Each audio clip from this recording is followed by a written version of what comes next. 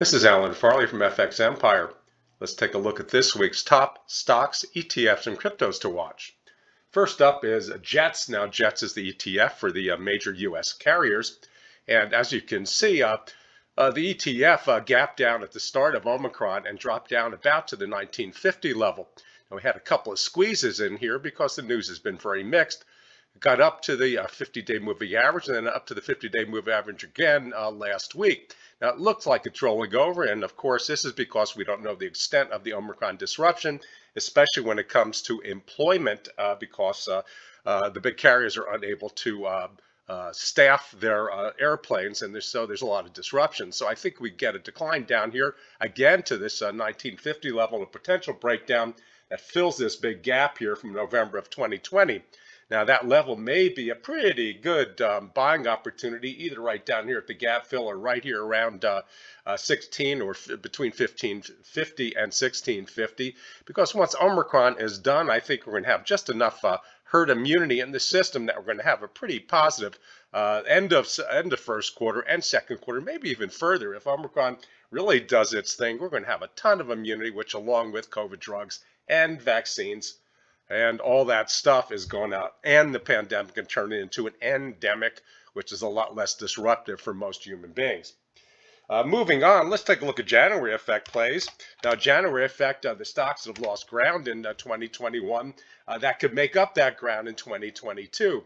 And uh, Disney's a very good example. The stock dropped about 15 or 16% this year, a very poor performance. It's come back up to the 50 a day moving average, and we do have this big gap here. So it's a little bit tough to buy. I wouldn't buy necessarily right away, but you may want to buy the next pullback uh, and then uh, hold it for a couple of months while this January effect comes into play. Now, perhaps another play, which might even be better, would be a Square. Now, Square's had a terrible year as well. If you take a look down here, you can see we have this big double top pattern that broke uh, in uh, December and has come back down about the 160 level. Uh, now, uh, this is another one which is really hard to buy because it uh, you got to hold your nose in order to do it, and it might not be a perfect time, but it's it is a perfect uh, January effect play because the stock's been a very strong performer for the couple of years leading into 2021, and it probably will do so again, especially when the economy starts to come back after COVID-19. Uh, now, moving on to this week's earnings, the only big uh, uh, uh stock that's up is going to be uh, Walgreens uh, Boots Alliance. Now, this has been a perennial underperformer that has had a decent 2021. As you can see, it topped out all the way back in 15.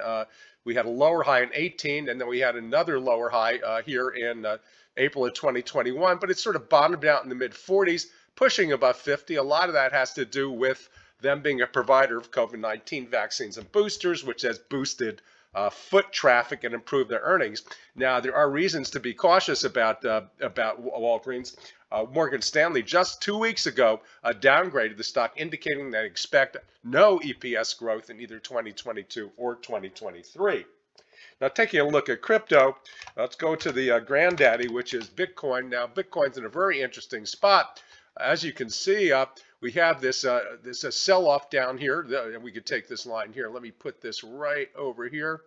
As you can see, we have the rally, which from about um, uh, September into uh, into November came down to the 786 retracement. It's tested the 786 retracement for about five weeks, and it's holding very well. And up here, uh, we have resistance at about the 52,000 level. So uh, if you try to ignore this little uh, shadow here, we do have a rectangle pattern which if we get a breakout above 52,000, that's also going to break resistance to the 50 day moving average.